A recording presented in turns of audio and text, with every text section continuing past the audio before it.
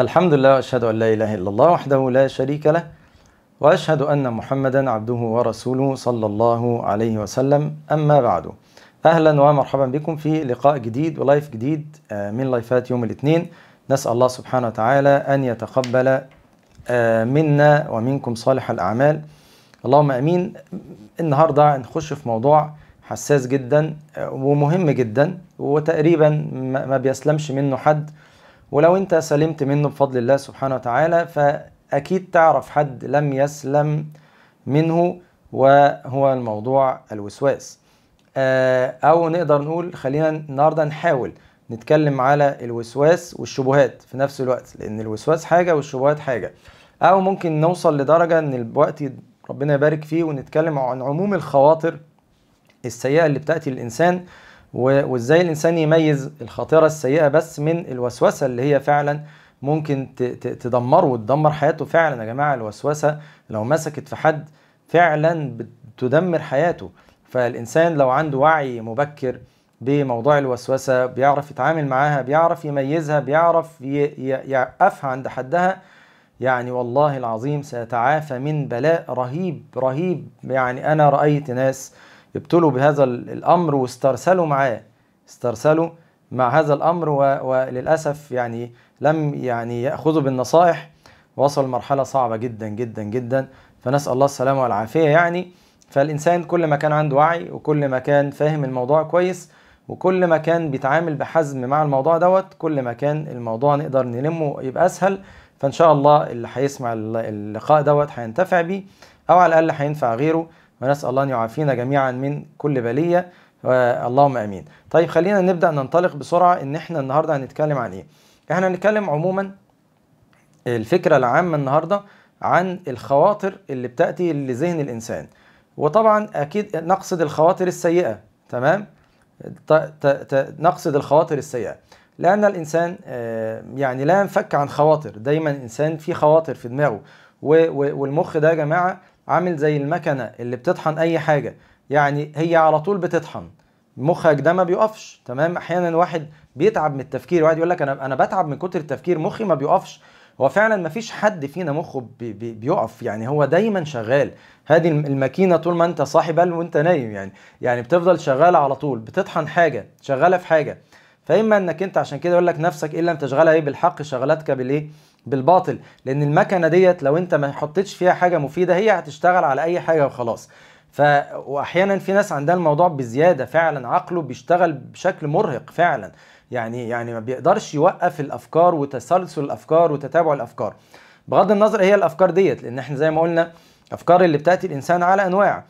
ممكن في نوعين من الأفكار مش مزعلني في حاجة تمام؟ وفي النوع الثالث اللي هنتكلم عنه. النوع الأولاني طبعا الأفكار الحسنة.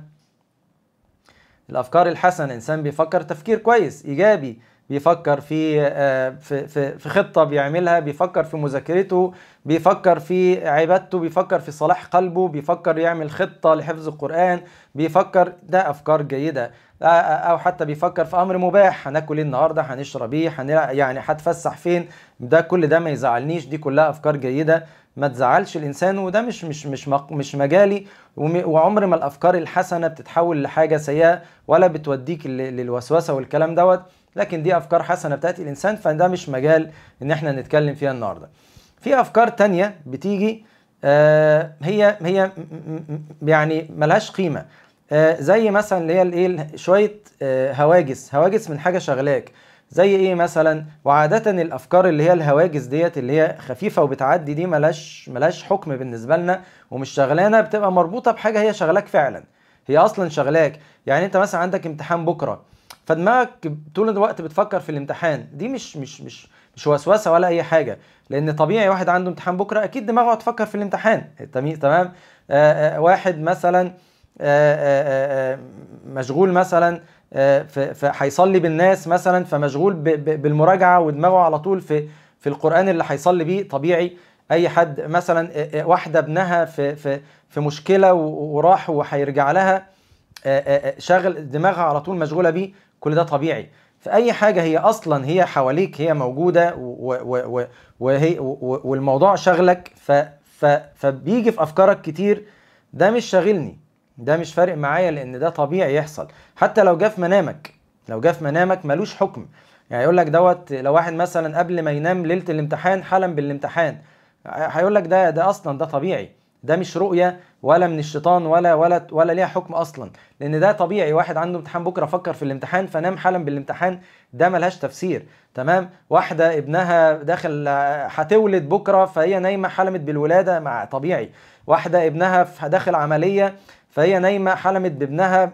كل ده وارد وارد إن الأفكار دي تجيلك كتير وارد إن البال تجيلك في المنام ودي ملهاش عندي اعتبار. يعني أنا مش بركز في ديت لإن مفيش حد طبيعي ده, ده العكس هو اللي مستحيل. إن أنت تدفع عن نفسك فكره هي أصلا حواليك مستحيل. مستحيل أقول لك ليلة امتحان ما تفكرش في امتحان ولا ولا ولا ليلة داخل فيها عملية في المستشفى ما موضوع ما يشغلكش. فدي مش شغلاني لأن دي طبيعية فدي ملهاش حكم بالنسبة لي. لا هي بعتبرها وسوسة ولا خواطر دي دي عادية. مجرد ما العملية خلصت صح التفكير هيخلص. فده دليل إن هي كانت مؤقتة.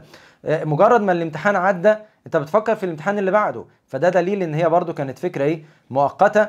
ف ف فدي مش شغلاني. فدي ما, ما, ما تحسبهاش ملهاش حكم ملهاش اعتبار. حتى لو جت في منام غالبا ما بيكونش ليها ما بيكونش ليها آه تفسير لأن ده شيء طبيعي إن يحصل لك بل اللي مش طبيعي إن ما يحصلكش. فده مش شاغلني. تمام؟ مش شاغلني الأفكار الحسنة اللي بتيجي لأن ده حاجة كويسة يا ريت. ودي أصلا هتكون من علاج الأفكار السيئة زي ما هنبين. ومش شاغلني اللي هي الهواجس اللي بتيجي تبع لموقف بالفعل هو حاصل لأن ده طبيعي واللي مش طبيعي إنه ما يحصلش.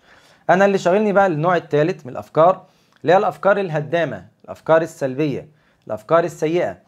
طيب إيه الأفكار الهدامة والأفكار السلبية والأفكار السيئة؟ ديت الأفكار ديت بالنسبة لي هتبقى على أنواع. نوع متعلق بالأعمال. تمام؟ آه يعني مثلا آه واحد عنده أفكار أفكار سيئة خواطر خلينا نقول الأفكار الأخطر الأول أفكار متعلقة بالعقائد. يعني حاجة بتجيله في دماغه تبع العقيدة.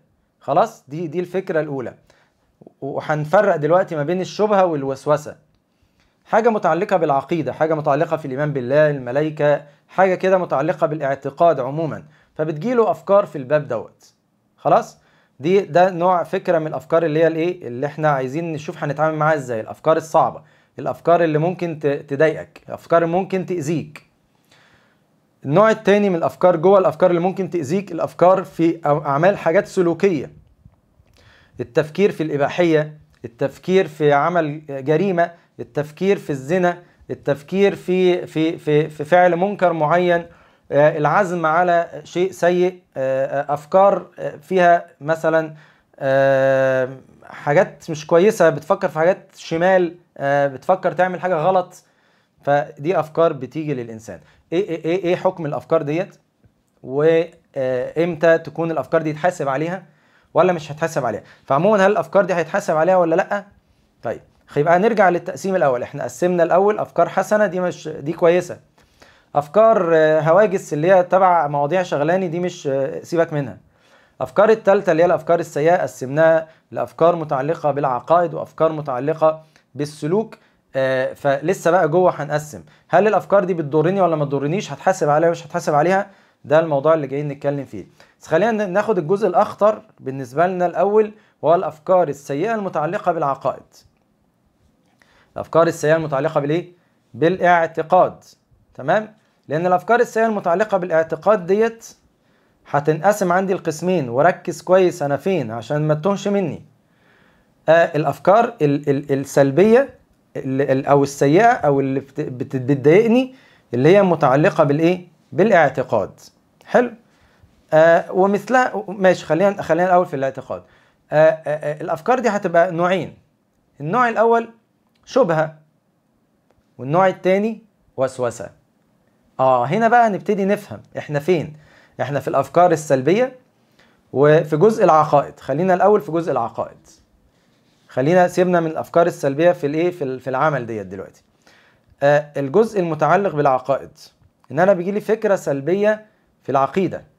إن أنا آه آه آه عندي شبهة جات لي شبهة معينة في الإيمان بالله شبهة معينة في الإيمان بالكتب شبهة معينة في الإيمان بالرسل.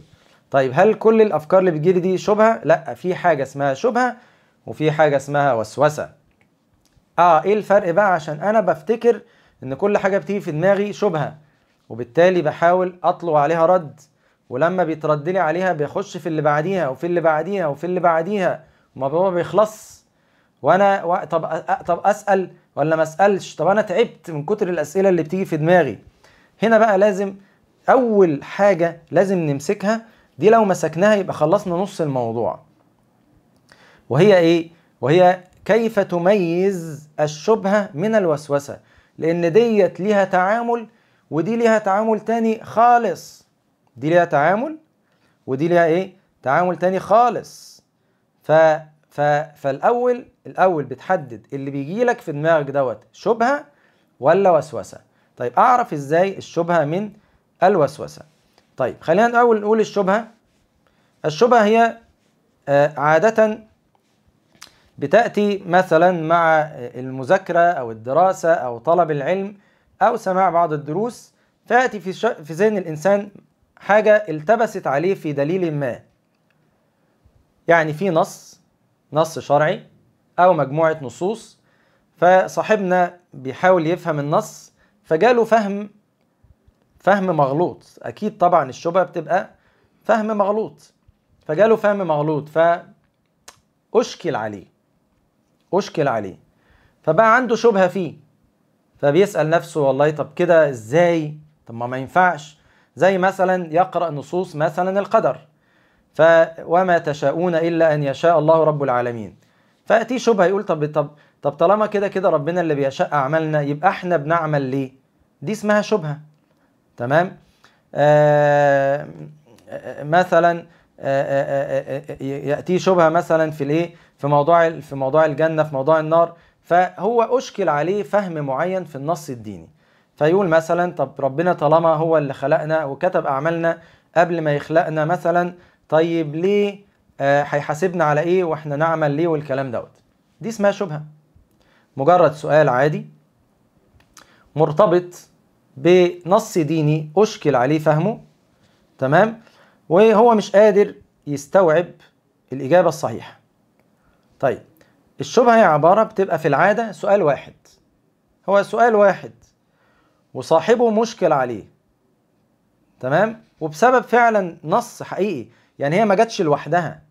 هو فعلا كان في نص معين كان بيقرأه أو بيذاكره أو درس سمعه فجاله إشكالية في مسألة ما. وعاده بتبقى سؤال واحد مثلا. خد بقى الفرق المؤثر جدا اللي جاي دوت. وهذا السؤال مش بيلح عليه. تاني؟ تاني. السؤال مش بيلح عليه. مش قاعد يعمل كده في دماغه. دي الوسوسة بتعمل كده. بتقعد تخبط على دماغك. مش بيلح عليه. هو سؤال في باله. و وما عندوش مشكلة الإجابة تتأخر. ما عندوش مشكلة الإجابة تتأخر. يعني لو الإجابة اتأخرت هو مش هيحصل له حاجة. لما الإجابة تتأخر مش بيتوتر مش بيقلق مش بيخاف مش بيقعد حاسس إن هو في حاجة حاجة بتاكله. ومجرد ما يقابل شيخ أو يسأل حد أو يدور على النت ويلاقي الإجابة الموضوع بيسكن مباشرة وبينتهي ومش بيجيله حاجة وراها على طول. بتقف خلاص تماما لغاية ما بعد كده مثلا في مرة ما جاله شبهة تانية فيقرر إن هو يسأل تاني فيلاقي الإجابة فيسكن والموضوع بينتهي. فالشبهة عبارة عن في العادة بتكون متعلقة ببعض النصوص الدينية اللي أشكلت على شخص ما وبيبقى في العادة سؤال واحد وبيبقى سؤال عادي مش مش معجزة يعني مش ومش بسؤال بي بيقعد يلح عليه ويطرق ذهنه ويحسسه دايما بالقلق والتوتر طول ما الإجابة ما جاتش. عادي ممكن الإجابة تتأجل. أنا عارف إن هو في رد بس أنا اللي مش فاهم يعني. فأكيد الشيوخ ردوا عليه فمش مشكلة. لما اقابل الشيخ هسأله. فمجرد ما يقابل الشيخ أو يدور على النت أو يقرأ حاجة تانية فيها رد خلاص بيستريح تماما وبينتهي الموضوع وبيكمل طريقه عادي ومش بيحس إن في أي مشكلة عنده. دي اسمها؟ دي اسمها؟ الشبهه وديت الحل الحل بتاعها هو إيه؟ هو السؤال. هو السؤال. بل أقول لك بقى الحل كمان. أحيانا في الشبهة تزول من تلقاء نفسها. يعني إيه؟ يعني أحيانا واحد يجي له شبهة في مسألة ما لقاش حد يجاوبه عليها. فبيحصل إيه؟ كبر دماغه. بيحصل ما بيحصلش؟ تاني بيحصل ما بيحصلش. طب كبر دماغه ليه؟ مثلا بيحصل مثلا إن هو صلى وصام ورق قلبه ف بيقعد يقول هي أكيد ليها إجابة يعني ما حتى لو أنا يعني مش عارف مش مشكلة يعني ما ما مش مش شاغلني قوي يعني. فلو ما لقاش حد حتى يجاوبه مش بتضايقه عادي مش هو عارف إن في إجابة بس هو ما مش لاقي فرصة إن حد يجاوبه. فمجرد إن هو مثلا سمع درس رق قلبه صلى شوية ممكن يكبر دماغه من موضوع الشبهة كله ما يسألش. فاحيانا الشبهة بتزول لوحدها حتى بدون سؤال. عشان كده بيقولوا إن علاج الشبهات حاجتين. العلم النافع والعمل الصالح. إن إنسان يتعلم ويعمل صالحا. زي ما قلنا لأن بعض الشبهات بتحتاج إن أنا أسأل. أنا عايز أسأل فالسؤال محتاج علم فأطلب العلم إما من الكتب أو من أسأل في النت أو بسأل شيخ فده العلم العلم النافع. بل واحيانا الشبهة بتروح من غير ما أسأل. بالعمل الصالح هيك شخص يصلي شوية يصوم شوية يسمع درس رقائق بتاع يكبر دماغه وما يسألش أصلا. وهو مطمئن جدا جدا. يعني مثلا سمع سمع درس عن حكمة الله تعالى. وسمع أن الله حكيم. كان عنده شبهة في حكم شرعي. فقال لك هسأل ليه؟ ما هو ربنا حكيم. أنا اللي مش فاهم. وخلاص يعني ما مش لازم أعرف. ليه ربنا فرض الحجاب؟ ليه ليه العصر أربع ركعات؟ مسألة جات له. فممكن بقى يا عم يعني سمعت اسم الله الحكيم وكل ده عايز برضه تسأل. ده يا عم مش لازم نسأل. خلاص ربنا حكيم وخلاص. فممكن حتى بالإيه؟ بالعمل الصالح برقة القلب يكبر دماغه عن السؤال وما يسألش أصلا. خلاص؟ يبقى دي الشبهة. خلي بالك عشان التعريف ده وفهمك لطبيعة الشبهة هو اللي هيميز لك الإيه؟ الوسوسة. لأن زي ما قلنا الشبهة علاجها في طلب العلم. عكس الوسوسة. هنشوف زي دلوقتي. الوسوسة. ما هي طبيعة الوسوسة؟ الوسوسة هي افتراضات عقلية تتولد ذاتيا. بصوا يا جماعة للأمانة للأمانة أنا الحقيقة المحاضرة دي استفدت جدا جدا من الدكتور هيثم طلعت. يعني أكاد أكون سمعت له كل كل الفيديوهات اللي اتكلم فيها على الوسوسة واستفدت جدا منها. فعموما أنصحكم عموما إنكم تسمعوا للدكتور هيثم طلعت في كل حاجة. يعني أي حاجة أي فيديو للدكتور هيثم طلعت اسمعه خاصة إذا كان بيتكلم في مسألة الوسوسة هتلاقوا له فيديوهات كتير متعلقة بالوساوس في العقيدة مفيدة جدا. فالأمانة أنا استفدت كتير من الدكتور هيثم في الباب دوت ومجرد إن أنا بحاول أوصل لكم المعلومة بشكل ميسر ونفهمه مع بعض يعني. جزاه الله خيرا ربنا يبارك فيه وينفع بيه يا رب. آه الوسوسة هي عبارة عن إيه؟ عبارة عن افتراضات عقلية تتولد ذاتيا. يعني ممكن أنت ما فيش حاجة. أنت ما فيش حاجة خ... ممكن ما تكونش في درس. ما فيش مسألة. ما فيش نص شرعي. ما فيش ما فيش كتاب. ما فيش أي حاجة. أنا قاعد مع نفسي كده مرة واحدة جه في دماغي إيه؟ هاجة فرضة افتراض كده غريب. وغالبا بيكون افتراض غريب. وعادة بيكون ملح جدا. ملح جدا. وبيكون يسبب لك قلق وتوتر شديد. وحاجة ملحة إلى السؤال. تشعر أنت لو ما سألتش هتموت. هيحصل لك حاجة. تمام؟ وبتبتدي تاكل أفكارك كلها تخليك تهنج. مش بتفكر في حاجة غيرها. ومش قادر عايز كأنك مدمن وعايز الإبرة أو عايز الحقنة أو عايز شمه فمجرد ما ياخد الشمة أو الإبرة بيشعر إن هو ارتاح. لكن مدمن كالعادة بعد شوية بيرغب في إيه؟ في المادة الإدمانية تاني. فالوسوسة شبه الإدمان. بتاخد جرعة هي الجرعه الإجابة أو الفعل المعين اللي أنت عايز تعمله فتستريح. فتظنك استريحت ففجأة يروح هاجم عليك مادة إدمانية تانية أو مادة ملحة تانية تزعجك تاني وتوترك تاني وتبقى أنت مش قادر تستحمل وعايز إنك أنت تجاوب عليها بسرعة جدا وإلا هتظل في حالة من الاضطراب لغاية ما يجي لك الإجابة على السؤال دوت. ممكن الفكرة ديت تيجي في فكرة في الله سبحانه وتعالى. أفكار كفرية عن الله. يقعد يتخيلها. ويقعد يتضايق جدا. ويقعد ما ما ما ما مش قادر يستحمل. وعايز يسأل. فكرة كفرية عن النار. تصور لله بالظلم. تصور عن ال ال مثلا أي تصور متعلق بالقدر متعلق بالنار. بيهجم عليه فجأة ويقعد يلح عليه يلح عليه. والفكرة أحيانا بتيجي لوحدها كده من غير أصلا نص ولا درس ولا أي حاجة. فدي أحد صور الوسوسة. من صور الوسوسة إن هو يتص... يتخيل إن هو قال كلمة كفر. وهو ما قالش. أو قال حاجة بعيدة جدا عن عن الكفر. بس هو يقعد يحكم عليها بالكفر. فيأتيه الشيطان مثلا إن هو مثلا إيه آه قال حاجة.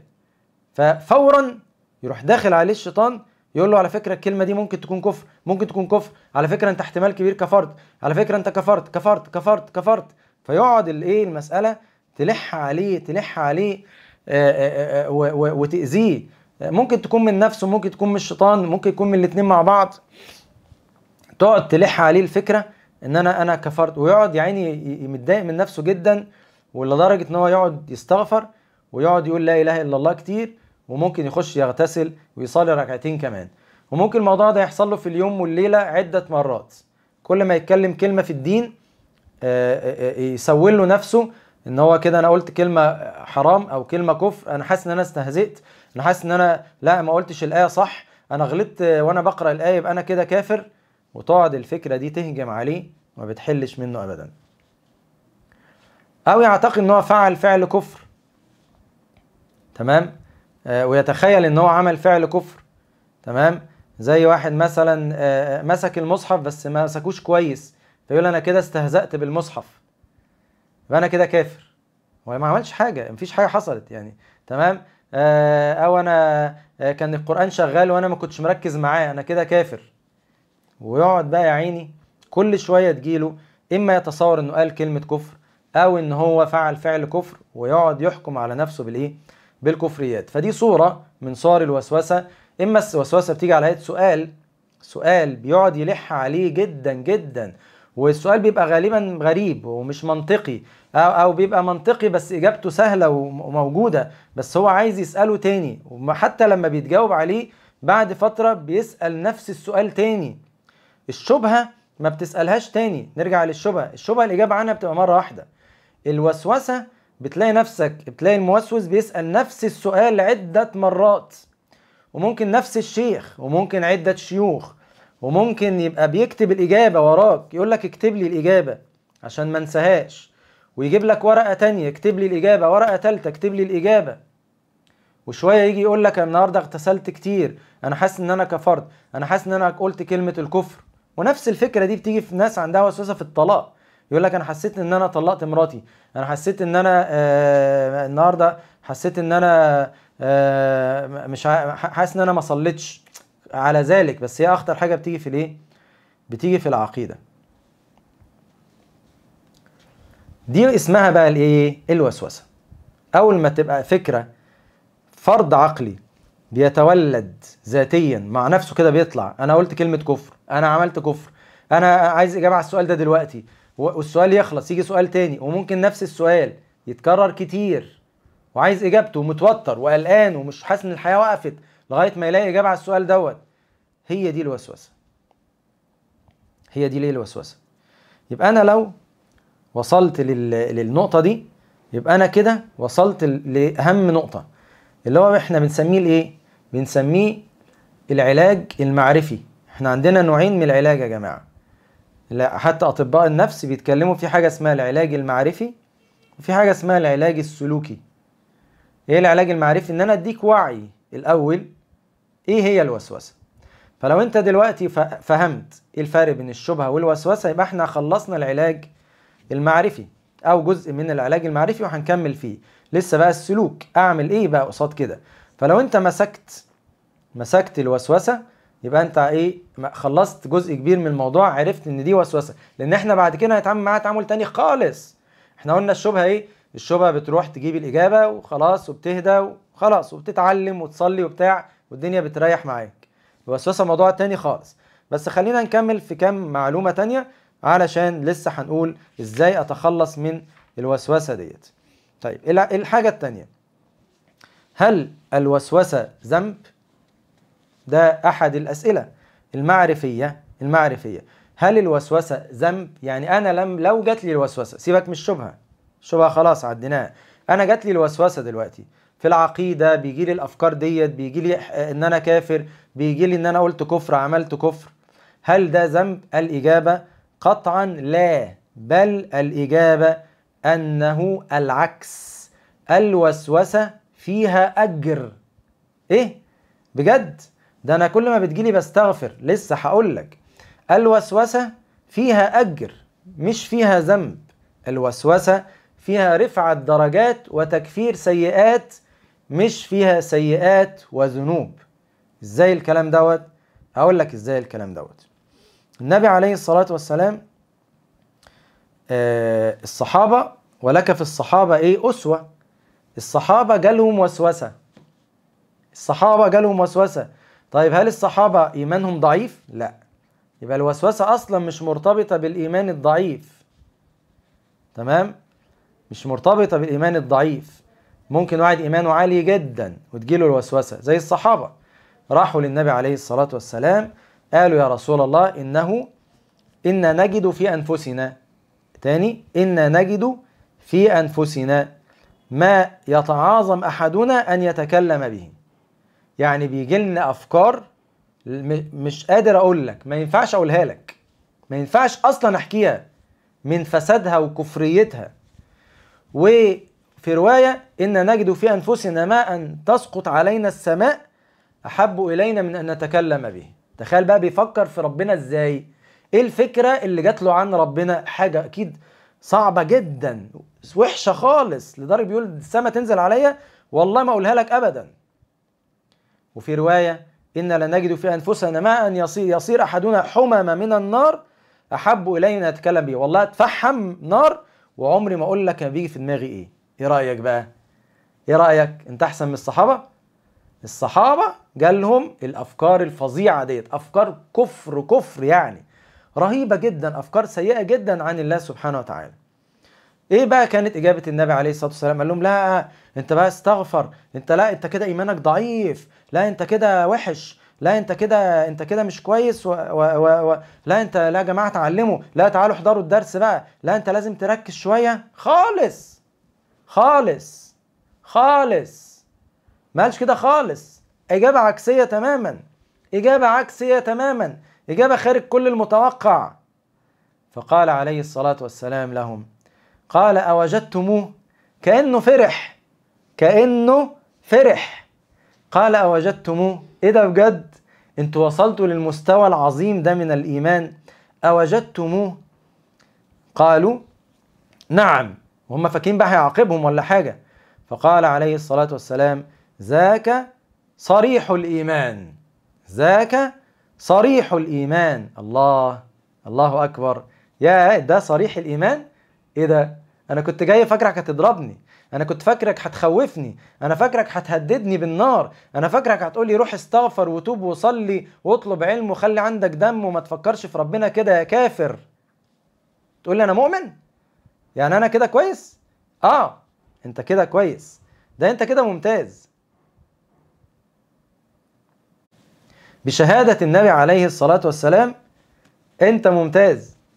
هتقولي إزاي الكلام ده ممتاز يا عم؟ أنت والله ده أنا بيجي في دماغي حاجات مش عايز أقول لك. النبي عليه الصلاة والسلام هو اللي قال كده. قال ذاك صريح الإيمان. قال ده أنت كده عديت. ليه عديت؟ اولا لعده أسباب. دليل إن أنت إيمانك عالي عدة أسباب. السبب الأول إن اولا كون إن وصلت الأفكار دي دليل على إن الشيطان بيهتم بيك جدا وبيهتم بيك شخصيا وبدأ يركز معاك. يركز معاك ده دليل إن أنت حاجة مهمة حاجة جامدة. عشان كده ابن عباس اتسأل سؤال جميل قوي قيل له ما بال اليهود لا يوسوسون في الصلاة؟ ما بال اليهود لا يوسوسون في الصلاة؟ فقال إجابة مبهرة. قال إن الشيطان لا يسرق قال إن اللص لا يسرق البيت الخرب. تاني قال إن اللص لا يسرق. اكتبوها. ما بال اليهود لا يوسوسون في الصلاة. ليه إحنا المسلمين بنوسوس ومش بنسمع إن في نصراني موسوس ولا يهودي موسوس في الصلاة؟ فقال إن اللص لا يسرق البيت الخرب. يعني بيت خرابة. يخش الشيطان يسرقه ليه؟ يخش لص يسرقه ليه؟ فالشيطان هيروح لليهودي يوسوس له ليه في الصلاة؟ ده هو أصلا شغال كفر 100 100 مش مش محتاج يوسوس له. هو هيجي الواحد جامد. وكل ما بيزداد قوتك كل ما الشيطان بيديك اهتمام أكتر. عشان كده الوسوسة جات لك إمتى؟ بعد الالتزام.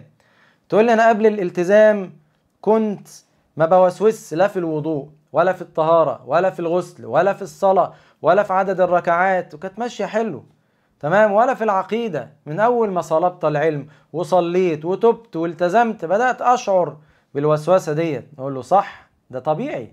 ده لازم. ده منطقي جدا. لأن الوسوسة خدوا الكلمة دي وهنعيدها تاني. الوسوسة أصلا سببها إيه؟ سببها الشعور بالتقصير. والشيطان بيشتغل على الحتة ديت. الشعور بالذنب الشعور بالتقصير الشعور بعدم المثالية. الرغبة في المثالية هي اللي بتكون الوقود اللي بيشتغل عليه الشيطان ويزكيه علشان يحوله لاتجاه الوسوسة. والشيطان خبير يا جماعة. بيعرف كل واحد مدخله إيه. يعني لو لقاك ماشي أصلا واقع مش ملتزم يعمل لك إيه؟ يزين لك الشهوات يزين لك النساء يزين لك الخمرة يزين لك المخدرات. لا لقاك ملتزم ودايس وداخل جامد بصدرك في الالتزام وعلم وصلاة وبتاع. يخش لك من المثالية من المثالية يقول لك خليك مثالي. فأنت تفتكر دي خاطرة كويسة؟ فيقول لك لا اتوضى خمس مرات عشان تأكد. لا أزود ركعة عشان حاسس إن أنت لا شكلهم مش كاملين. زود زود. لا لا لا أنت أنت ما عملتش كويس. عيد تاني. لا الفكرة دي السؤال ده مهم جدا. أنت لازم تشوف الموضوع دوت ولازم تتدخل فيه. لا لا لا لا أنت شكلك عملت فعل كفري أنا شايف احتياطي إن إحنا نستغفر ونخش نغتسل احتياطي. فهمت؟ فهمت؟ يبقى الشيطان كونه أصلا اهتم بيك من ناحية الوسوسة دليل إنه حسبك من الناس الجامدة. والجامد مش بيكلمه على الزنا ولا بيكلمك في قلع حجاب ولا هيكلمك في خمر. بالعكس هيكلمك في الزياده زيادة بس زيادة في اتجاه غلط. هيكلمك في المثالية هيكلمك في التأكيد هيكلمك شد حيلك. وتقعد تشد لغاية ما تطلع بره خالص. فهمت؟ فالنبي عليه الصلاة والسلام بيقول لهم تمام. دي دي شهادة مميزة من الشيطان نفسه والحق ما شهدت به الأعداء. فيقول لهم الشيطان بيقول بي كده شهادة أنت خدت certification أنت خدت تصريح. الشيطان بيقول لك أنت تمام بدليل إن أنا بهتم بيك شخصيا. فذاك صريح الإيمان. طب إيه المعنى الثاني لذاك صريح الإيمان؟ ذاك صريح الإيمان يعني الإيه؟ الكراهية اللي وجدتموها ديت. هو أنت دلوقتي مش أنت متضايق من الوسوسة؟ آه. رافضها؟ أيوه. بتدفعها؟ آه. طب ما هو ده دليل على الإيمان. ما هو عشان أنت مؤمن وعشان أنت خايف على إيمانك وعشان أنت خايف على دينك متضايق من الأفكار الكفرية ديت. هو الكافر بيتضايق من الأفكار الكفرية؟ تاني الكافر اللي بيقول على نفسه كافر ده كل شوية يوسوس يكفر نفسه هو الكافر بيتضايق من الافكار الكفريه الكافر بيحارب الافكار الكفريه ال ال ال ال ال ال ال ال المخلص بيوسوس في الرياء 600 مره في اليوم المرائي بيتضايق من الرياء يعني خلاص يا جماعة مش معقول افهم بقى ان ديت مجرد وسوسه زائده عن الحد تمام فعشان كده قال لهم الايه لولا الايمان اللي في قلبكم ما كنتش انزعجتم من الايه من الوسوسة ديت. فهمنا الحتة ديت حتة مهمة جدا. بل أقول أنا سمعت آه سمعت إجابة عظيمة جدا للشيخ ابن عثيمين. العلامة ابن عثيمين رحمة الله عليه. يا جماعة والله العلماء كلامهم غير كلامهم بلسم. أنت ممكن تقول لواحد صاحبك أنا عندي وسوسة يضيعك. لكن تروح للعلماء يديك كلمة والله يتفوقك. سمعت إجابة عجيبة والله. قال سأله السائل قال عندي وسوسة في الإيمان وتأتيني أفكار كفرية. تخيل إجابة ابن عثيمين. قال له إيه تفتكره؟ فقال ابن عثيمين هنيئا لك. إيه؟ قال له إيه؟ قال له هنيئا لك. أبشرك بأنك وصلت إلى مرحلة عالية من الإيمان. هنيئا لك. مبارك لك أنك وجدت هذه الأفكار. والله هذا دليل على أنك شخص تقي نقي مؤمن ولولا ذلك ما جاءتك هذه الأفكار. يا سلام إيه الجمال ده؟ إيه الروعة دي؟ إيه العلماء يا جماعة؟ العلماء بلسم. والله العظيم حاجة إجابة تشرح الصدر. تخيل أنا اتصدمت. أنا قلت الشيخ هيشد عليه ولا حاجة؟ بيقول له هنيئا لك بشراك. أنت ده أنت مؤمن أنت رجل تقي أنت رجل صالح. حاجة جميلة. بل نقول يعني إن إن ليه بقول لكم إن ديت فيها فيها أجر يا جماعة؟ لأن الوسوسة ابتلاء. تاني الوسوسة ابتلاء صح؟ والابتلاء قرين الأجر. الوسوسة هي مرض العقل. زي ما مثلا المغص والسرطان مرض البدن. طيب مش الإنسان إذا ابتلي بمرض في بدنه يؤجر؟ نعم. كذلك إذا ابتلي بمرض في عقله اللي هو الوسوسة يؤجر. وفي الحديث ما يصيب المسلم من هم ولا غم ولا حزن حتى الشوكة يشاكها إلا كفر الله بها عن سيئاته معلش هو الوسوسة دي هو في هم في الدنيا زي الوسوسة؟ اسألوا أي واحد موسوس. ما مدى الهم اللي بيشعر بيه؟ ما مدى الغم اللي بيشعر بيه؟ ما مدى الألم اللي بيشعر بيه؟ والله آلام الوسوسة أشد من آلام البدن. والله آلام الوسوسة أشد من آلام البدن وأنا رأيت حالات يعني ما مش عايز أقول لكم وصلوا لمرحلة صعبة جدا. أرجو من الله يعني أن يكونوا مع الصديقين من من من التعب اللي شافوه من هذا الأمر. تمام؟ فإذا كان الهم بس بيصيب الإنسان بيؤجر عليه. ما بالك بوسوسة ملازمة ليه طول النهار والليل؟ شيء صعب جدا. تمام؟ بس إحنا هنحاول إن إحنا إيه؟ نطلع منها. فتأكد يا صاحب الوسوسة أنك مؤمن تقي نقي ولولا ذلك ما جاءتك الوسوسة أنك مأجور طالما في وسوسة. مأجور دائما. بل خد بقى الهدية كمان. لو أن إنسان بسبب الوسوسة قصر أحيانا البعض ممكن بسبب الوسوسة في الصلاة بيقول لك مش قادر. ما قدرتش صليت الفرض بس. مش قادر أصلي النافلة. تمام؟ في واحد مثلا من كتر الوسوسة في العقيدة حصل له تقصير في طلب العلم. مش قادر. تعبان. فنقول له خد بقى الجايزة دي والله إن شاء الله يكتب لك أجر ما قصرت فيه. بس طبعا الفرائض تجيبها. ما قصرت فيه من النوافل نرجو من الله نرجو من الله أن يكون لك أجر كامل فيما فرطت فيه. لأن النبي عليه الصلاة والسلام قال إذا مرض العبد أو سافر إذا مرض العبد أو سافر كتب له ما كان يعمل صحيحا مقيما. كتب له ما كان يعمل صحيحا مقيما وده مرض الوسوسة مرض ولو منعتك من نوافل مثلا فإن شاء الله يكتب لك الأجر كامل عند الله سبحانه وتعالى يبقى إحنا جاوبنا على السؤال هل الوسوسة ذنب؟ لأ هل الوسوسة دليل على ضعف الإيمان؟ لأ خالص بل هي دليل على إيه؟ على قوة الإيمان على قوة الإيمان لذلك النبي عليه الصلاة والسلام بيبين إن من دليل قوة إيمانك إن الشيطان ما قدرش إلا على الوسوسة. ففي رواية قال لما الصحابة قالوا له يعني على الوسوسة قال الحمد لله في الرواية قال الحمد لله الذي رد كيده إلى الوسوسة. الحمد لله الذي رد كيده إلى الوسوسة. يعني الحمد لله أخرك وسوسة. يعني أيها الشيطان الخايب الضعيف ده أخرك أخرك توسوس لي. بس ما تقدرش تطلع الإيمان من قلبي ما تقدرش تدمر ديني. وت... وأنا مأجور على هذه الوسوسة وأنا معايا دليل على إن إيماني قوي. أخرك توسوس. فلازم تتعامل مع الوسوسة كده مع الشيطان باحتقار. مع الوسوسة باحتقار وده اللي هنقوله كمان شوية. تمام؟ يبقى إيه؟ يبقى الإنسان يحاول آآ يفهم المعاني ديت. عشان كده بنقول بقى الإجابة بقى. هنا أنتوا عايزين طبعا المسألة الأهم وهي كيف أتعامل مع هذه الوسوسة؟ أعمل إيه؟ فاكرين الشبهة؟ قلنا الشبهة عادي جدا يروح اسأل جابة خلص الكلام اتعلم صلي خلص الموضوع. انسى بقى كل اللي أنا قلته في الشبهة ده. انساه خالص. الوسوسة موضوع تاني خالص. تمام؟ كيف أتعامل مع الوسوسة؟ وطبعا خلينا برضو نفردها عشان ال... عشان الكلام هو هيبقى واحد. الوسوسة في العقيدة زي الوسوسة في العبادة. الوسوسة في الطهارة. الناس اللي بتتوضى ساعة لدرجة إنه مش عايز يصلي كره الصلاة. مش كرهها يعني كافر يعني مش مش مش قادر يصلي. الناس اللي بتوسوس في الصلاة وبتعيد الركعات وبيقعد يقول التشهد خمس مرات والفاتحه ست مرات واللي بتقعد توسوس في في في في, في الغسل وتقعد ساعتين تغتسل وتطلع ويغتسل تاني. يعمل إيه مع الموضوع دوت؟ نفس الكلام نفس الكلام هنقوله هو هو. خلاص؟ هو العقيدة زي السلوك في الباب دوت. واحد. نمرة واحد. أولا إذا كان الوسوسة في الإيه؟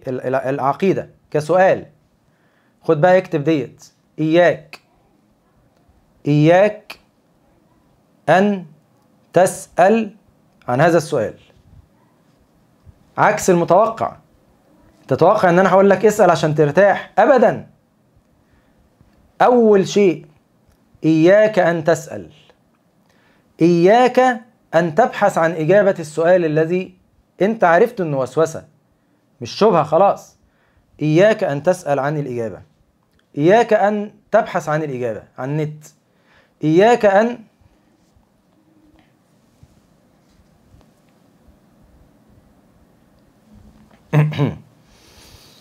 بسم الله. إياك أن تسأل شيخا. إياك أن تسأل شيخا.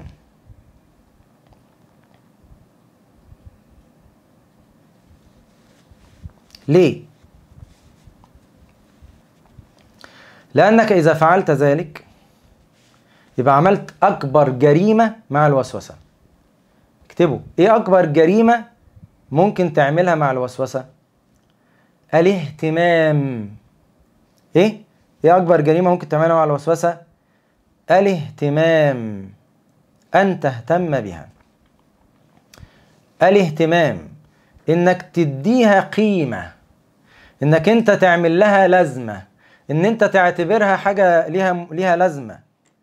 أول ما بتديها قيمة وبتعتبرها حاجة ليها لازمة بتنمو وتتكاثر وتبدأ تأخذ وضع. تمام؟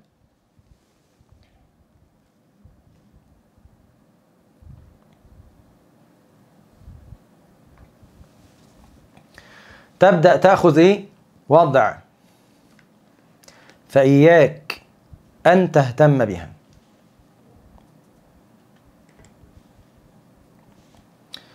لأن علاج الوسوسة هو التجاهل التام. وأي محاولة للعبث في كلمة التجاهل التام سيطيل جدا العلاج. لا تهتم بها لا تسترسل معها لا تحاول أن تبحث عن إجابة لا تسأل لا تبحث لا تقرأ لا تنظر لا تفكر. العلاج هو الإهمال التام إنك تضرب بها عرض الحائط ولا تفكر على أن تجيب عنها لأنها كما قلنا دي مش مبنية على سبب علمي واضح. إنما هي شيء قفز في ذهنك بدون سبب. فالعلاج أن تطرده بدون نظر. شيء قفز في ذهنك بدون سبب.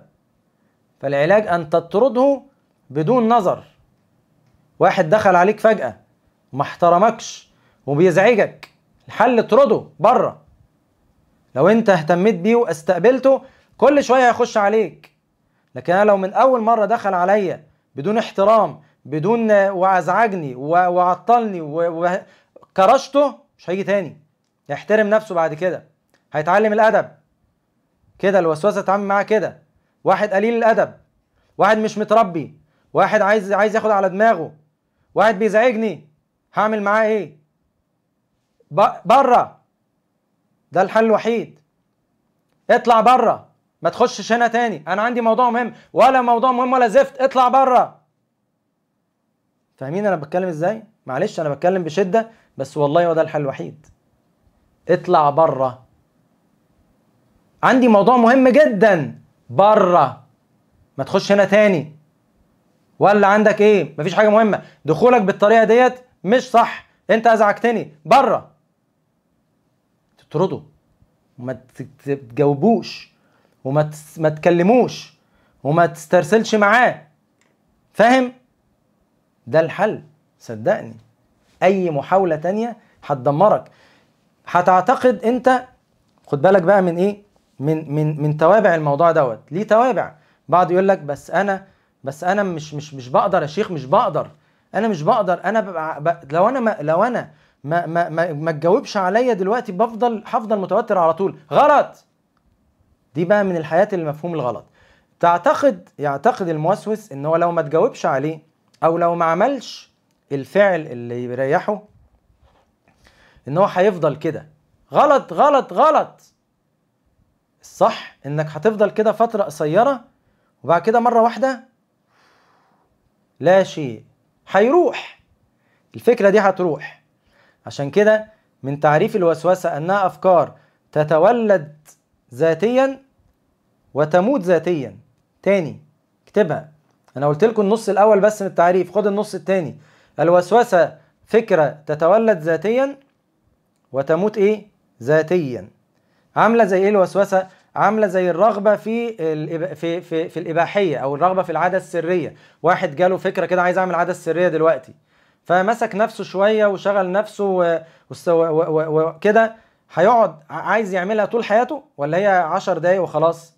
10 دقايق ربع ساعة هيهدى هتروح الفكرة من دماغه لأن هي ليها إيه؟ يسموها بيك ليها بيك كده ليها قمة. مجرد ما تعدي البيك ديت مجرد ما تعدي القمة بتلاقيها على طول نزلت بسرعة. مش نزلت ببطء نزلت بسرعة جدا بسرعة جدا. أنا هسالكم سؤال بالله عليكم وتجاوبوني. بالله عليكم وتجاوبوني. أنت دل دلوقتي اللي جالهم الموضوع ده وعشان أنا ليه عايزك تجاوبني؟ عشان في ناس بيسمعوك دلوقتي. و... وعندهم الموضوع دوت. أنا مثلا حصل معايا ومعاكم. أنا بتوضى دلوقتي. حلو؟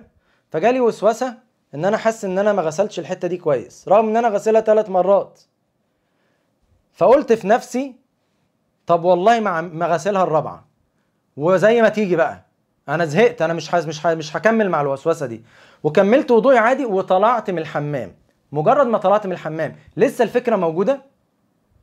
ولا أنت في مجرد في, في خلال دقيقة واحدة راحت؟ مجرد ما دخلت الصلاة لسه الفكرة موجودة؟ لا. بتروح فعلا. انت بعد في آخر الصلاة بتتش... في التشهد. بعد كده قعدت تقول لا أنا حاسس إن قلت التشهد كويس. حاسس إن أنا عايز أقوله تاني. فقلت طب والله ما قايله تاني. كفاية بقى زهقت. مش هقوله تاني أنا هسلم. وحتى لو ما قلتوش صح بقى أنا هسلم وخلاص. فرحت فعلا سلمت. وقمت وسلمت على الناس ومشيت من المسجد. روحت. لسه الموضوع شغلك؟ لسه عايز تعيد الصلاة؟ لسه عايز تعيد التشهد؟ لا. خلص. مجرد ما عديت القمة دي راح. راح. ولو قعدت كل مرة تعمل كده كله هيروح.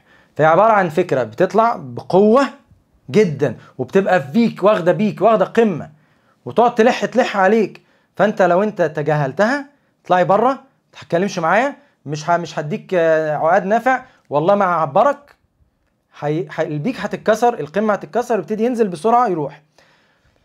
فهي ليها أعراض انسحابية. الأعراض الانسحابية دي في الوسوسة ممكن تقعد دقايق. وخلاص وتروح.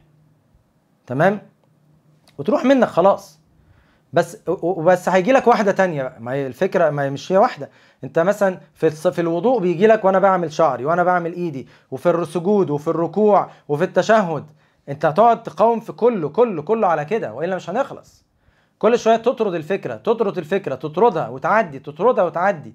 هتكتشف فعلا إن الأفكار بتروح مجرد ما أنا بتجاوزها بدقيقة واحدة بتروح. مجرد إن أنا أهملتها تماما وما تفاعلتش معاها راحت. لأن هو فعلا ده الحل المثالي. التجاهل التام التجاهل التام. وأي محاولة للتفاعل مع الوسوسة هي عملية إحياء وبعث وعملية تقوية وتنمية لهذا الوسوسة وأنت اللي هتحطم نفسك بنفسك لو استجبت للوسوسة ديت. فلازم إنك أنت تطنشها تماما تماما. وده اللي بنسميه إيه؟ آلية الانتهاء. اكتبوها. آلية الانتهاء والتجاهل. عشان كده حتى في الطب النفسي يعني خد بالك العبارة الذهبية اللي قالها النبي عليه الصلاة والسلام ديت. خدوها بقى العبارة الذهبية. شوف الكلام اللي أنا قلته ده كله. النبي عليه الصلاة والسلام قالها في كلمة واحدة. الصحابة قالوا له هو بيقول عليه الصلاة والسلام سيأتي الشيطان إلى أحدكم فيقول له من خلق كذا من خلق كذا من خلق كذا. تمام؟ ثم يقول له من خلق الله. ثم يقول له إيه؟ فمن خلق الله. آه هنا بقى بدأت الإيه؟ بدأت الفكرة الشيطان الإيه؟ العقدية الوسواسية تجيله فمن خلق الله. قال فإذا وجد ذلك فليستعذ بالله ولينتهي. فليستعذ بالله ولينتهي. ما قالش حاجة تتعمل مفيش أي حاجة تتعمل غير التجاهل فقط. لذلك دي من من المعجزات النبوية. الكلمة دي ولينتهي دي معجزة نبوية. لأن الطب النفسي بعد عشرات السنين من دراسة الوسوسة انتهوا إلى كلمة واحدة. كلمة واحدة قالوا دي خلاصة علاج الوسوسة سموها ثوت ستوبنج thoughts stopping يعني إيه thought stopping يعني توقف التفكير. هو ده الحل الوحيد الآن لليه بيتكلموا فيه الوسوسه غير طبعا العلاجات اللي هيضطر واحد ياخدها كيمياء عشان يوقف دماغه. وحتى العلاجات اللي بياخدها الناس عند أطباء النفسيين هي عبارة عن إيه؟ هي بتساعده إن التفكير يقف. يا يعني إما تعملها لوحدك أو الدواء هيعملها. فالدواء مش بيعالجك. الدواء مش بيعالجك. الدواء بيوقف التفكير بس. بدليل إن المريض دوت لما بيوصل المرحلة دي لو وقف الدواء الوسوسه هترجع له فورا. فمن الأول أنا أعود نفسي إن أنا أعمل مناعة ذاتية بآلية التجاهل والتوقف بدل ما احتاج لدواء وافضل طول عمري اخده صدقوني فعلا صح أسماء بتقول الكلام الكلام صعب صعب التنفيذ صعب في الأول. بس ده علاج مثالي هو ده الحل يا جماعة. يعني أضرب لكم مثال أنت دلوقتي الوسوسة دي يا جماعة لما تجيلك اعتبرها زي واحد مجنون بيكلمك. واحد مجنون بيكلمك. أو أنت مثلا عندكم في الشارع عندكم في ولد أهبل مؤاخذة وعيل عبيط عيل صغير كده عبيط كل لما بتمشي الشارع بي بي بيغلس عليك. بيغلس عليك. وهو بقى لما حد بي بيعبره بي بيزود فيها. فالناس تقول لك ببساطة إيه؟ طنشه ما تردش عليه ما تبصلوش. هو لما حد بيعبروش بيسكت. فبيشوفك بعد كده معدي في الشارع ما ما يقعدش يغلس عليك. ليه؟ يقول لك ما هو ما بيردش عليا ما بيعبرنيش. فلازم تعتبر إن الفكرة الوسواسية دي لما بتجيلك سواء وأنا بتوضا سواء وأنا بغتسل سواء وأنا بصلي سواء فكرة عقدية إن ده العيل البارد الرزل الغلس اللي في الشارع عندكم. العبيط الصغير ده اللي هو اللي هو الحل معاه إنك أنت اعتبره جزمة قديمة. وما تعبروش. وما تردش عليه وما ما تتفاعلش معاه يومين ثلاثة وهيزهق وهيدور على غيرك فاهمين يا جماعة؟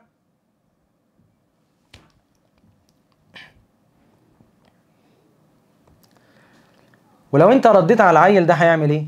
هيجيب عيال الشارع كلها معاه ويغلس عليك اللي هو إحنا بنسميه إيه؟ ان الافكار الوسواسية بتجيب بعضها هو ما بقى ما فيش حد بدأ بفكرة واحدة بفك ب 20 فكرة مرة واحدة. هي الوسوسة بدأت بفكرة ودلوقتي هي 10 و20 وبعد ما كانت في الطهارة بقت في الطهارة والصلاة. وبعد ما كانت في الطهارة والصلاة بقى دخلت في العقيدة. هو إيه اللي حصل؟ اللي حصل إن الواد الرزل ده لما لقى إنك أنت زبون لم العيال الرزلة كلها. وبقى كل العيال الغلسة بتستلمك في الشارع عشان أنت زبون. لكن لو كان أول عيل طنشته كان زهق منك وما جابش العيال التانيين. فهمت؟ بعض الناس علشان يخفف عن نفسه ال ال ال يخفف عن نفسه ال ال الاعراض الانسحابية ديت وده أخطر حاجة بتحصل. انتبه بقى وركز معايا في الحتة دي كويس. في ناس بعض الناس عشان يخفف الأعراض الانسحابية ديت اللي هي بتزعجه ما هي طبعا الموضوع الفترة دي مزعجة جدا. ان أنت عامل زي واحد عامل زي إيه؟ واحد قاعد يخبط على الباب يخبط على الباب وأنت مطلوب تصبر وما تفتحش. فطول ما هو بيخبط أنت متوتر. تقول إمتى يمشي بقى؟ صح؟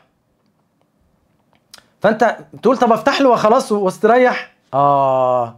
هنا دي بقى الدمار الشامل. إن مثلا تيجي لك الأعراض ديت إن أنت المفروض تصبر شوية لغاية ما هو يمشي. فتقول طب طب طب افتح له بس افتح له كده بص اريحه. هيفضل على الباب بقى. كان قرب يمشي. رحت انت عملت إيه وهربت زي إيه مثلا؟ اديكم مثال. انت مثلا بتتوضى حلو. بعد التالتة مثلا حسيت إيه؟ قلت طب حاسس ان أنا ما فايه؟ جيت إيه؟ قلت إيه؟ لا خلاص خلاص حق حق بعد كده فجالك إيه؟ نفسك بتاكلك. تقول طب خلاص إيه؟ المرة دي بس. المرة دي بس إيه؟ اتاكد كده. المرة دي بس. غلط. غلط. دي مش هتريحك. دي هتجدد الموضوع تاني. غلط. آه طب أنا حاسس إن أنا كل بقى كل صلاة كده. حاسس إن أنا ما, ما, ما ركعت ركعة مش ركعتين. آه سجدت سجدة مش سجدتين مثلا.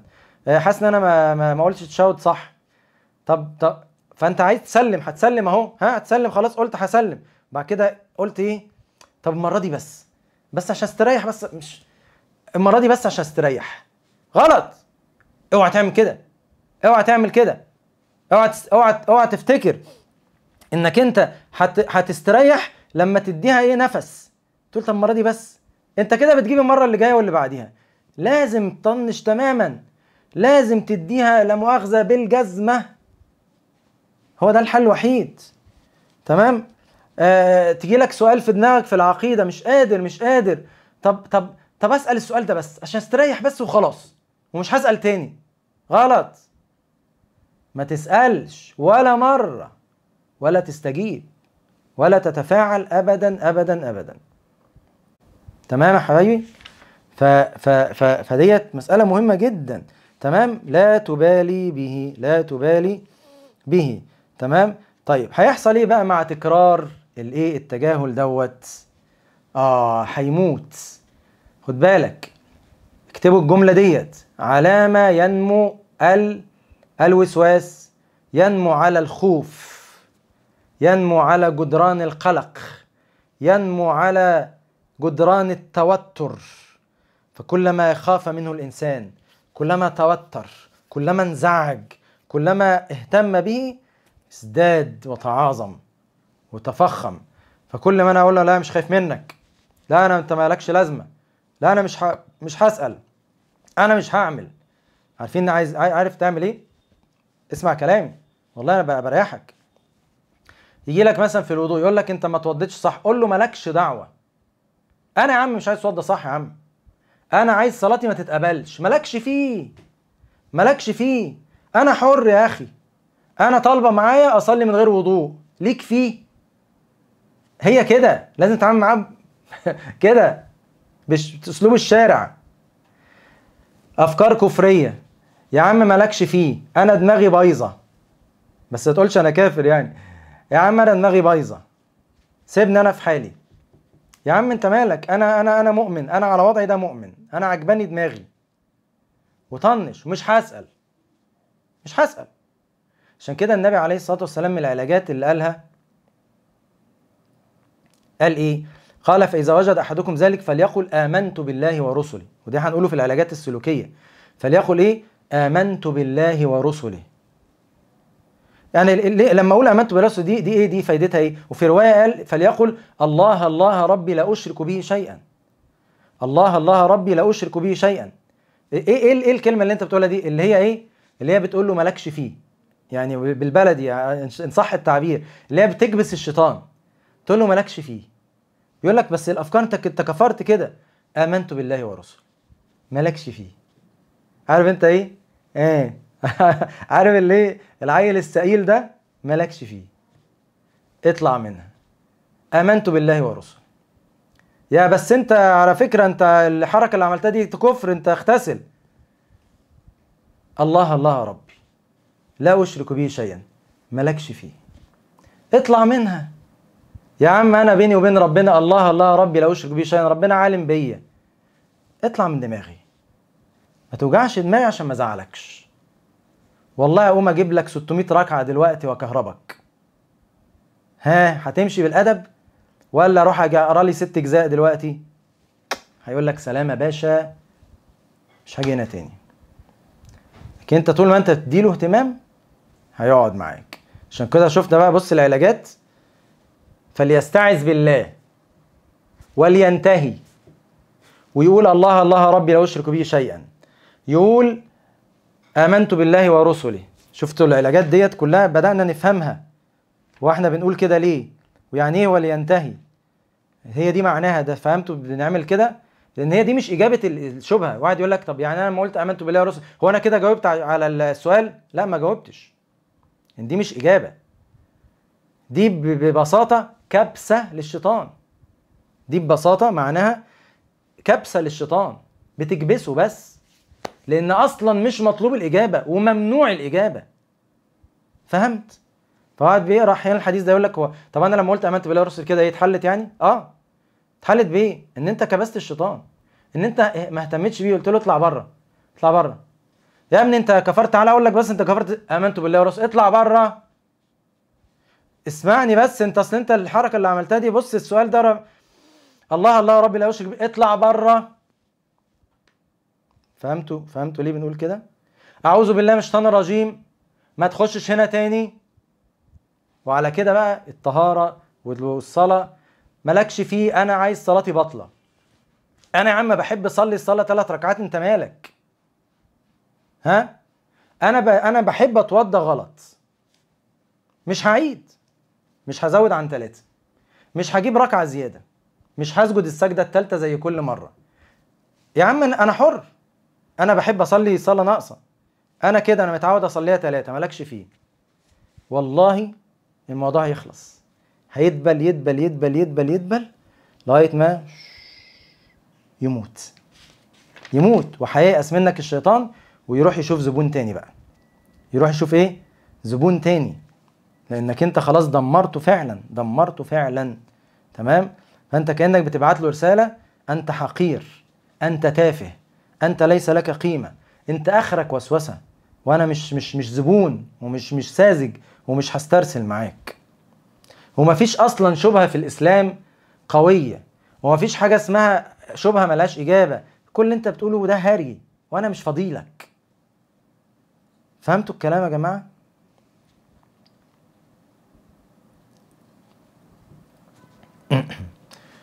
من الحاجات المهمة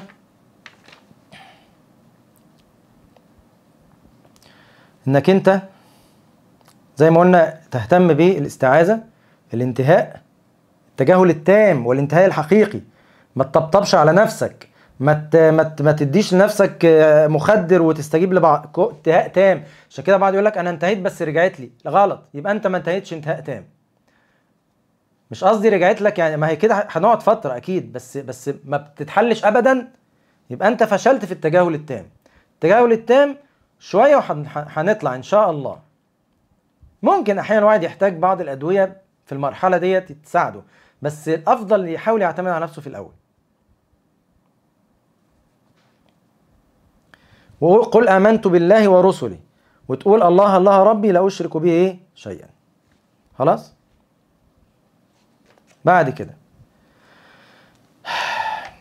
أحيانا يأتي الشيطان الإنسان يقول له أنت الوسوسة دي بسبب إنك بتقرأ قرآن أو بسبب إنك أنت بتطلب العلم.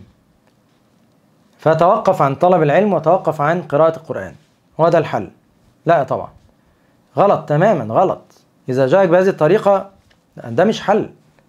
الوسوسة مش جات لك عشان تقرأ قرآن لأن هي أصلا الوسوسة مش علمية.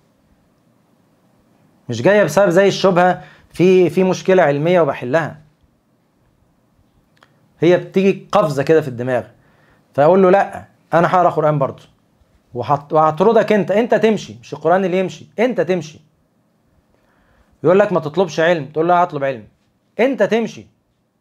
وهكمل في طلب العلم. تمام؟ بعض الناس بيستجيب بس استجابة تانية. يعني اهتمامه بالوسوسة بيبقى بشكل تاني اللي هو إيه؟ إن هو مثلا جات له الوسوسة في في في في, في الصلاة فيقلل الصلاة. يقول لك أصلي الفرض بس. ما أنت كده اهتميت برضه. أنت كده برضه اهتميت. قاوم على قد ما تقدر. أنا عارف إن في ناس مش هيقدر يعمل اللي أنا بقوله بالظبط بس على قد ما تقدر. قاوم. قاوم أرجوك. لأنك أنت حتى لو أنت تركت العبادة في محاولة منك لتخفيف الوسوسة عنك ما أنت استجبت برضه. ما أنت اهتميت برضه. ما انت اديته قيمة برضه. ما هي نفس المشكلة. تمام؟ يا جماعة قاعدة أي اهتمام بالفكرة الوسواسية هو عملية تغذية للفكرة وإعطائها قوة واهتمام. تمام؟ فما ما تعملش كده. مثال. أديكم مثال على وسوسة بتحصل لنا كلنا. انت انت كنت بتكوي هدو- الهدوم خلاص؟ بعد ما كويتي الهدوم حصل إيه؟ شلتي الفيشة فيشه المكوى رحتي الحمام. جالك في دماغك أنا حاسس إن أنا ما شلتش فيشه المكوى كارثة فيشه المكوى تروحي تبصي على الفيشة. تلاقيها متشالة. بعد كده وانت نازلة من الش- الشارع. قفلتي الباب. وبعد كده أنا لا أنا حاسس إن أنا ما شلتش فيشه المكوى نرجع تاني. نشيل فيشه المكوى واللي هي متشالة أصلا. ما إحنا شفناها من شوية. وبعد كده تقول طب أنا عشان استريح أنا هشيل المكوى كلها وهحطها تحت السرير عشان أبقى أنا مطمنة وأنا في الشارع ما يجيليش الفكرة دي إن أنا ما شلتش فيشة المكوى أحسن أسيب الكلية وفي نص المحاضرة وأرجع أشوف فيشة المكوى مش هنخلص. مش هتخلصي. هتعيشي في دمار. هتلاقي نفسك بتخبي المكوى وبتخبي التلاجة وبتخبي وهنعمل إيه؟ ما هو ده اسمه إيه؟ اسمه أنا باخد إجراء. ما دي وسوسة برضه بس أخف شوية. صح؟ فلا ما ما فيش أي تفاعل خلاص هي أنا شلت فيشه المكوى قبل ما تسيب المكوى طمني هاي أدي الفيشة شلتها خلاص. ما تجيلك فكرة ما تجيلك انسى الكلام فكرش فيها. تمام؟ فحاجة مأساوية يعني. فأنا عايز أقول إن إن إن آه إن أحيانا آه الشيطان بيستغل الخوف دوت. فمثلا أنا دلوقتي صليت العشاء خلاص؟ وأنا أصلا عندي وسوسة في الصلاة أو في الوضوء. فخلاص صليت العشاء وبتاع فبالليل مثلا قلت أقوم أصلي بالليل. فجاء في بالي هخش الحمام وهتوضى وهقعد نص ساعة بتوضى برضه وهصلي وهوسوس في الصلاة. طب أنا إيه؟ أنا عليا من ده بإيه؟ خلاص لا أتوضى ولا أصلي وخلاص. كده إحنا بندي يا جماعة مدد. مدد للإيه؟ مدد للفكرة الوسواسية. فاهمين؟ بنعطي مدد للفكرة الوسواسية. آه قبل ما أخش أصلي آه من كتر خوفي أنا اللي عارفة اللي هيحصل في الصلاة ولا مش هصلي. طب ما هو ده مدد برضه لنفس الفكرة الوسواسية. تمام؟ قبل ما أقرأ قرآن ما عارفة أول ما هقرأ الآيات ما هو الخوف ده هو اللي بيستدعي الوسوسة. الخوف هو نفسه هو اللي استدعى الوسوسة. لأن أنا أصلا أنا داخل مستعد أوسوس. لكن لو أنا داخل بقى إيه مش فارق معايا. أنا داخل أخش أتوض في دقيقة وأجري وخش صلي وشوف هيحصل إيه. هتلاقي نفسك الله طب ما أنا اتوضيت أهو ما حصلش حاجة.